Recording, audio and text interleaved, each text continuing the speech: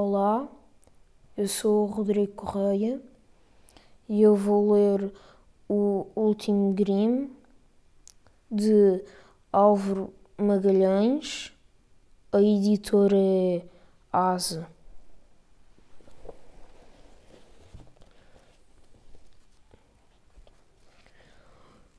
Marcos viu-se a cair no vazio. Respirou profundamente e começou a contar. Um. À medida que caía, a escuridão tornava-se mais densa e cerrada. Ia depressa, mais devagar, porém do que se tivesse saltado de uma prancha para uma piscina, por exemplo. Era mais como nos sonhos, quando caía devagar e quase flutuava no ar. Peter parou de ler, certo de que a partir dali, pelo menos nos próximos passos, dificilmente as duas histórias coincidiriam. E com o coração apertado, pensou no irmão a cair no abismo. Três, disse William, que já ia há algum tempo em plena queda livre, através do escuro inovado. 4. À medida que ele caía, a escuridão tornava-se mais espessa. Seria aquela a negrura do fim? Ou seria a escuridão que precede um nascimento? para um lugar de cores e fadas e barcos e sol. 5. Tanto rodopiava como fazia grandes loopings. Não o podia garantir, mas era quase certo que o túnel tivesse alargando e já não fosse sequer um túnel. A cabeça dele andava à roda. Sentia vertigens e um enjoo crescente. Fora isso, não acontecia nada, não se via nada, não esbarrava em nada. Talvez aquilo fosse o nada, onde tudo esperava para voltar a ser. 6. Disse ele na altura em que entrou num túnel de pó que o fez cerrar os olhos. Pó. Havia muito pó no ar pó de tempo, séculos de vida anteriores à dele, e ele a passar através de tudo isso. Feitos heróicos, batalhas encarniçadas, mesquinhas traições, dores imensas e gritos de vitória. E então percebeu que já não estava a cair, mas a andar às voltas sem sair do sítio. Era a altura de dizer as palavras de ida e volta. Osso, asa, ovo. Disse uh, e voltou a cair. Sete. Tinha chegado à zona de luz, pálida e tremida, e estava a cair mais depressa. Pelo menos foi o que lhe pareceu. Por isso, respirou fundo e disse: Oito.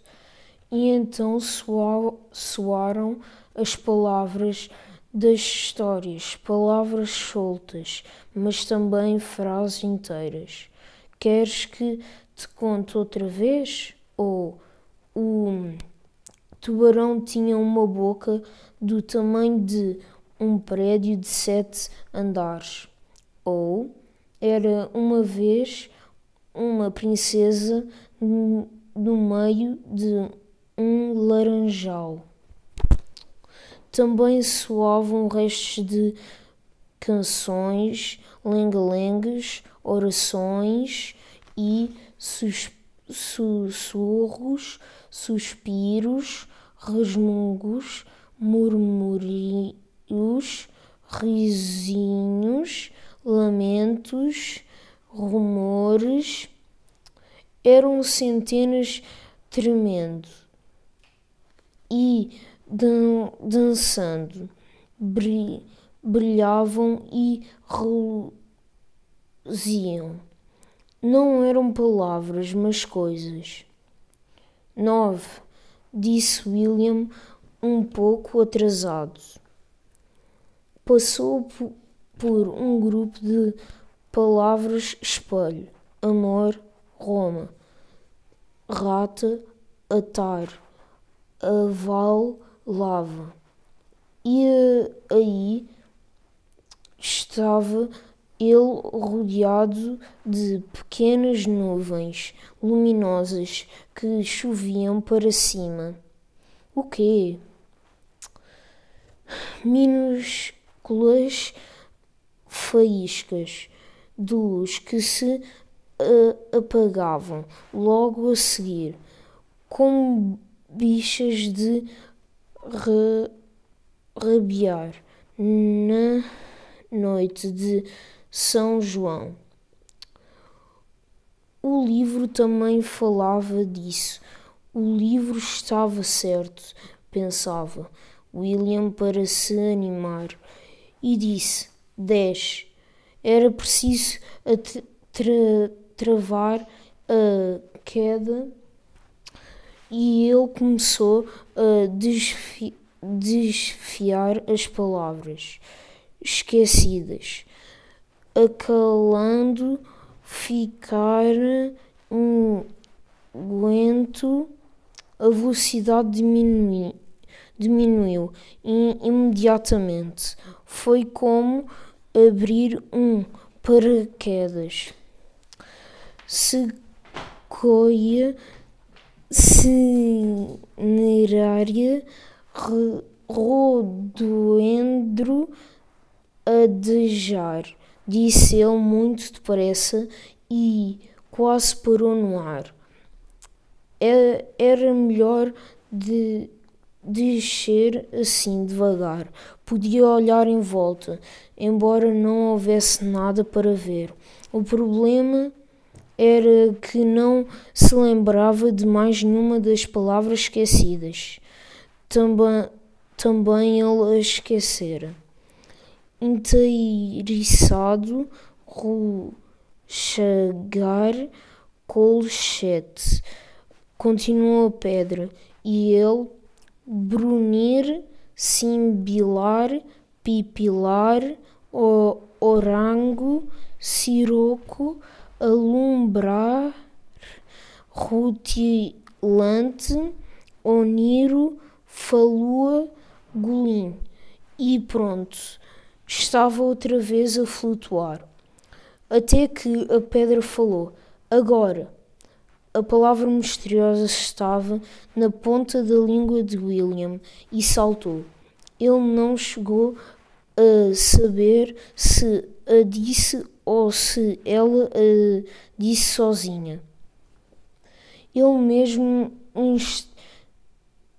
nesse mesmo instante, ficou parado no ar dentro de uma bolha luminosa que o isolava do exterior. Dava pequenos passos no ar e a bolha acompanhava-o À volta tudo se sara pó, Ima imagens, todos os sons, e diante dele estavam agora três portas de madeira grossa. Uma, uma grande, do tamanho de um portão de uma quinta, outra média, do tamanho de, um, de uma porta normal, e uma terceira, muito pequena, mais ou menos do tamanho de uma porta de, um, de uma casinha de cão.